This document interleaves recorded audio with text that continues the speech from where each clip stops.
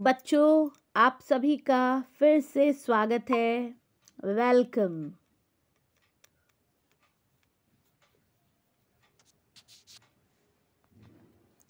To my new video.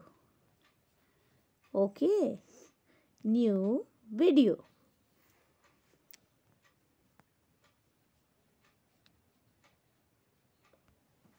आप सभी का स्वागत है। आज के इस क्लास में हम कुछ वर्ड मीनिंग्स को जानेंगे। कैसे वर्ड मीनिंग्स जो वॉवल से बने हैं। किससे बने? वॉवल से। वॉवल लेटर से बने वर्ड्स को जानेंगे। जानोगे ना बच्चों?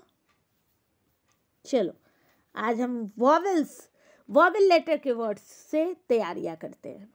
ठीक है? वॉवल लेटर से क्या है वॉवल लेटर साउंड है वॉवल लेटर वॉवल लेटर का कितना साउंड है बेटा?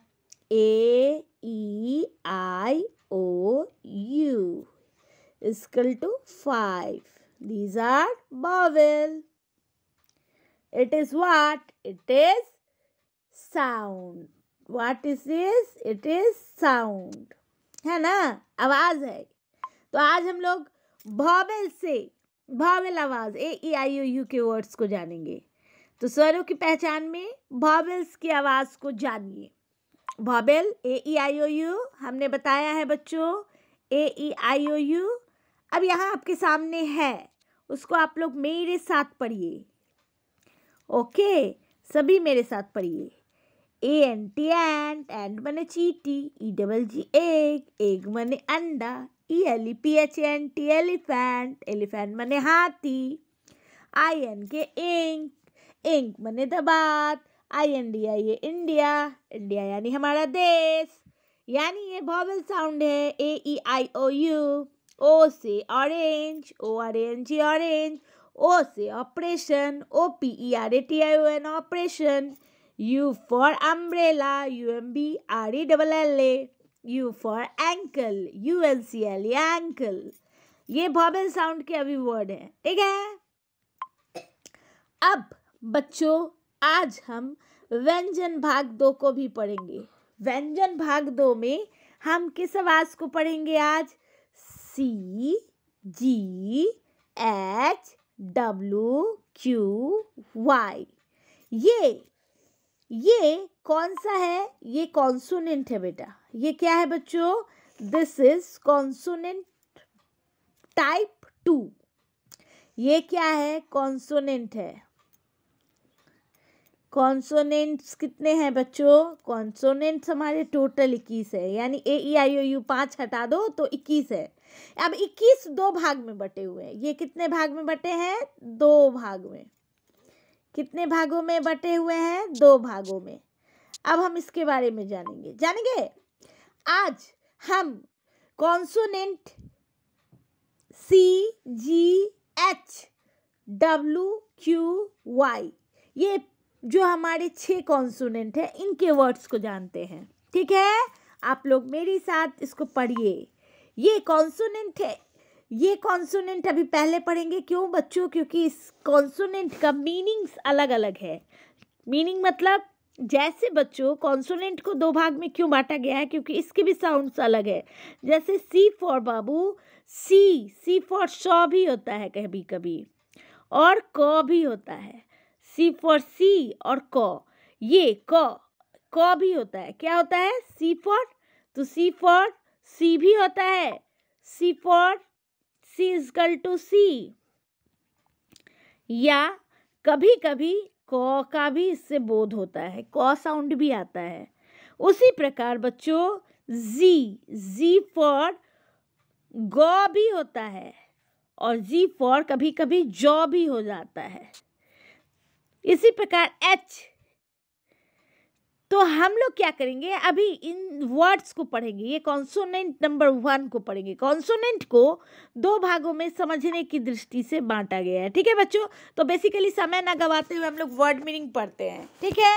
तो कॉन्सोनेंट का जो भाग ए है, भाग ए में C for cat C A T cat G for gun G U N gun G for gift G I F T gift H for H A T hat H for H E N hand W for W X wax W for W double O L wool Q for Q U double N queen Q for Q S C K quack Y for Y A K yak Y for Y S yes तो इस प्रकार से ये, जो हमारे consonant के, ये क्या है बच्चों? कॉन्सोनेंट कौन से कॉन्सोनेंट है जिनके मीनिंग्स दो होते हैं?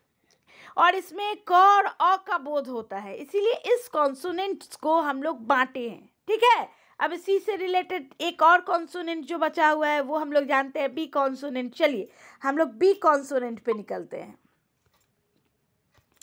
अब बच्चों, हम लोग आ जाते हैं बी कॉन्सोनेंट आपके आँख के सामने बी कॉन्सोनेंट आपको दिख रहा होगा। बच्चों, दिख रहा है आपके पास? जैसे बी साउंड्स क्या है? बी बी ब सी क डी ड एफ़ जी ग बी ए ब सी ए क डी ए ड एफ़ ए फ जी ए ग ऐसे ही आप लोग पढ़े। जैसे एच एच एच यानी ह तो सिर्फ़ एच से नहीं होगा। एच ए बराबर ह।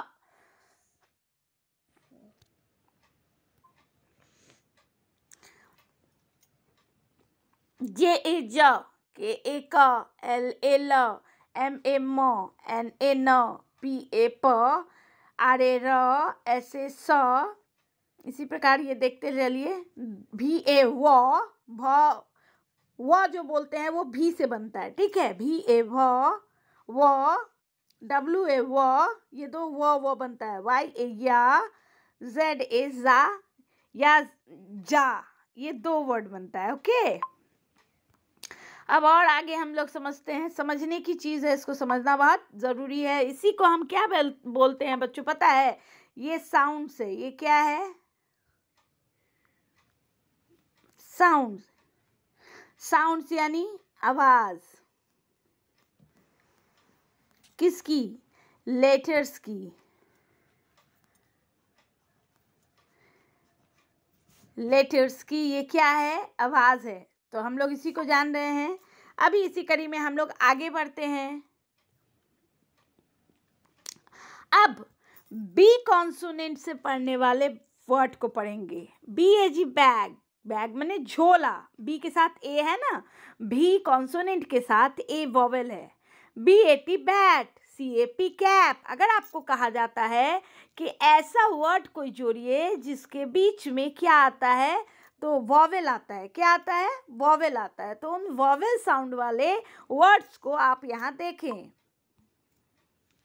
जैसे आपकी नज़र में यहाँ पर है वॉवेल कॉन्सोनेंट के ठीक बाद वॉवेल आने वाले वर्ड्स कौन कौन से हैं? ए कॉन्सोनेंट के बी कॉन्सोनेंट के ठीक बाद आने वाले ए के कौन से वर्ड है? ए वॉवेल के कौन से वर्ड है? तो जहाँ पर ए वॉवेल होगा तो ऐसे आपको उसको जवाब देना है word meaning B A T bat bat B A G bag B A T bat C A P cap C A T cat D A D dad D M dam F N fan F A T fat G A P gap H A T hat J M jam L A B lab ये words हैं। इन words को आप screenshot करके रख भी सकते हैं। ये आपको वॉवेल तुरंत वॉवेल ए आने वाले वर्ड्स है। कॉन्सोनेंट के साथ तुरंत वॉवेल ए आने वाले थ्री लेटर्स वर्ड है। इनको हम लोग क्या बोलते हैं बच्चों? ये हमारे हैं थ्री लेटर्स वर्ड ठीक है?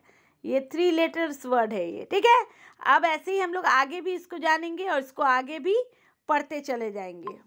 इसी कड़ी में, यहाँ थ्री लेटर्स वर्ड में कॉन्सोनेंट के साथ vowel A L A P lap lap मैंने गोद M A N man M A P map M A T mat N A P nap P A N pan P A T pat R A T rat S A D sat T A P tap V A N van W X wax अब इसी प्रकार इसको और अच्छे से हम समझते हैं। नीचे यहाँ दिया हुआ है। आप लोग मेरे साथ इसको दोहराएँगे सभी बच्चे। स्क्रीन शॉट करेंगे और सब दोहराएँगे। मोर वर्ड्स है ना?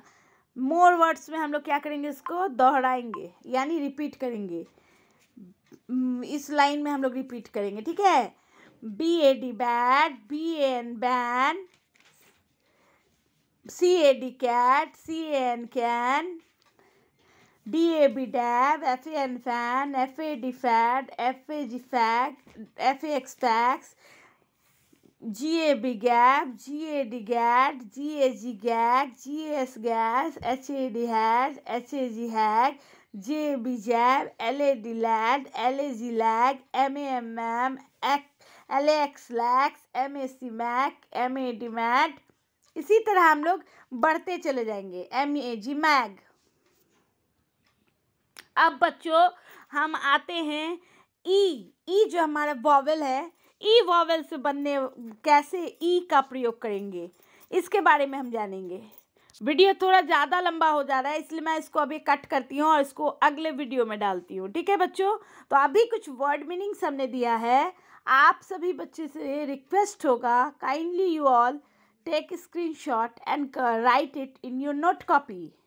If you want to uh, complete the competition, there's a need. What is needed? There's a need to know these word meaning properly.